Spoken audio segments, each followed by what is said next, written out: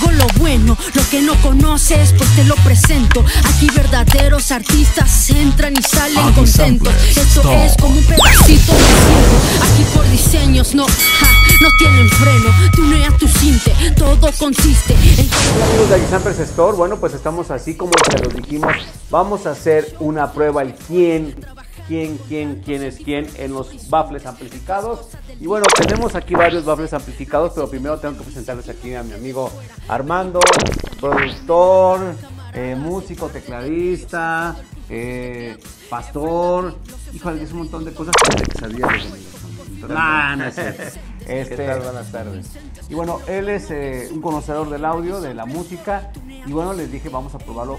¿Qué les dije? Vamos a probar un bafle como se debe de probar. Cuando ustedes quieren comprar un bafle activo, ya sea que lo quieres para tu estudio de grabación, para ensayar, para un recinto pequeño, para conferencias, nunca lo pruebes con música grabada. Porque todos los baffles se van a escuchar bien. Escúchalo con algo en vivo. Por ejemplo, con un teclado que vamos a sonar música de cómo vas a sonar tú en las tocadas. Aquí tenemos un Titán. Tampoco quisimos poner el, el PA1000, por ejemplo, que está ahí de core para que digan, ah, pues es con este teclado cualquier baffle se escucha bien. No. Pusimos uno que tampoco se escucha mal, pero que mucha gente dice, es que yo no sé cómo se va a escuchar con mis baffles. Bueno, vamos a verlo. Les voy a presentar a los, a los implicados. En primer lugar tenemos, y así vamos a irlos probando, al JBL, el León 615, 715, perdón. Tenemos al Maki Tum 15.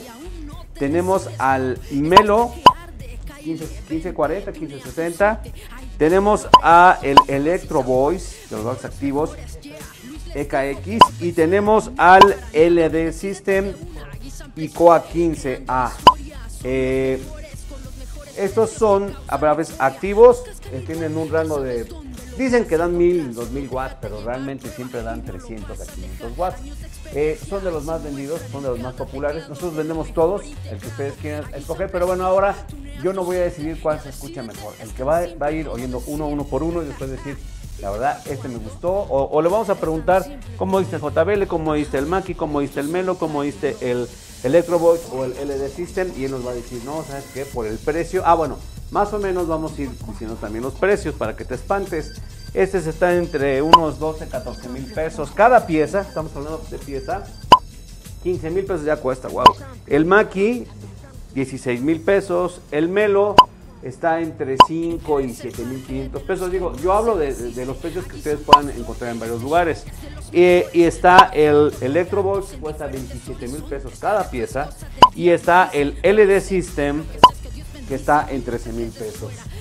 Vamos a escuchar el LD System comparado con los watts que tienen los demás. Porque esa es una marca que a lo mejor ustedes no conocen, pero yo quiero que conozcan y vamos a ver su opinión de lo que dice. Agui Samplers, unos tantos convincentes de lo bueno que surge en Agui Sample Store. Tunea tu cinte. Lo bueno, lo que no conoces, pues te lo presento. Aquí verdaderos artistas entran y salen contentos. Esto es como un pedacito de